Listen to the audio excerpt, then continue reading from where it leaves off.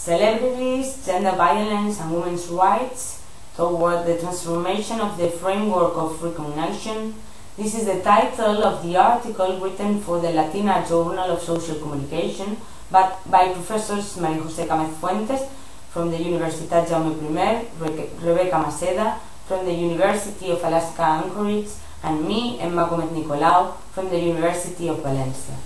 Our research aims to contribute to the analysis of the products of popular culture that address gender violence as a social concern through the application of the concept of ethical witnessing, which has emerged from the tradition of trauma studies and allows us to examine in which measure media discourses can subvert or challenge the current framework of recognition of gender violence. A framework that is based on the reified figure of the woman victim, lack of agency that individualize the responses and often re-victimize women in the depiction processes or blames them for their situation.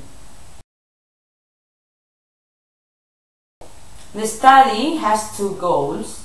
On one hand, to test the applicability of our analytical model, and on the other, to contribute to the debate on the implication of the role played by celebrities giving visibility to gender, to gender violence.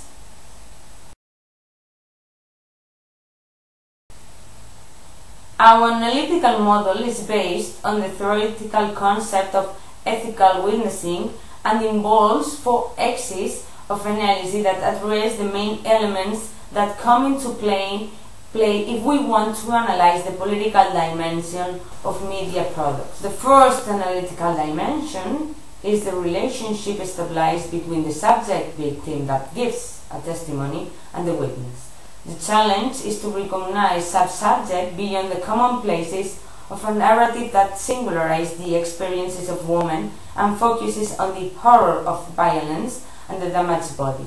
In other words, the objective is to overcome the simplistic idiosyncratic discovery of the victim and move to a discourse that, from an epistemic perspective, bearing witnessing aims to reach a much more elusive and complex reality. The second area of analysis is the kind of realities that emerge in the discourse, that is, the narratives that relocate our perceptions and interpretations of the subjects that experience violence in a diverse social contexts. In this sense, the reference to the processes of secondary victimization are particularly important due to the possibilities they offer to identify new spaces of recognition and social and political demands. The third dimension is the visibility of the resistances to challenge the identity built on the woman victim.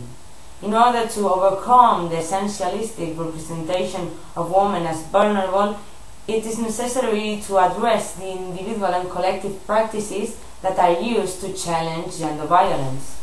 The fourth dimension focuses on the connections established between gender violence, women's rights, and the social movements for recognition, redistribution, and participation. We understand that in order to challenge the current framework of recognition, it is necessary to reveal the connections that exist between violence in its structural and cultural dimensions. And to this end, to address social reality from an intersectional perspective that allows us to advance in the recognition of the context in which violence emerges.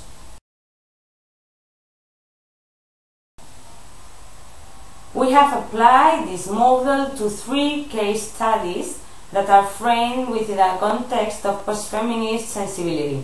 We analyzed the feminist activism of Beyoncé's lyrics, symbols and performances, Emma Watson's He for She media campaign, and the primetime TV interview to Spanish actress Carmen Maura about how he was raped 30 years ago.